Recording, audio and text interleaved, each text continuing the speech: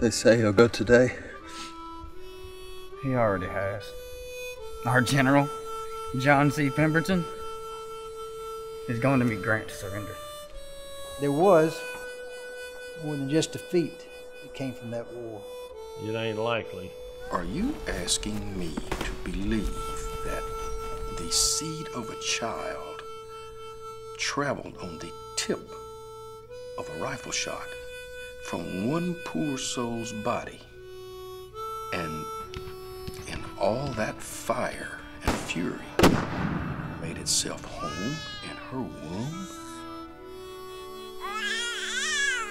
Impregnation by ammunition.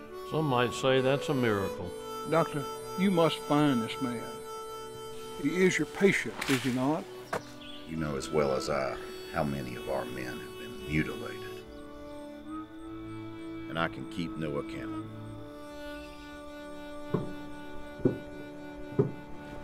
Soldier! Sometimes a man thinks he has a condition that he hasn't. A sort of trick of the mind. Liar. And sometimes he knows he has no condition. Nevertheless, he insists. What else can be done? Living might be enough.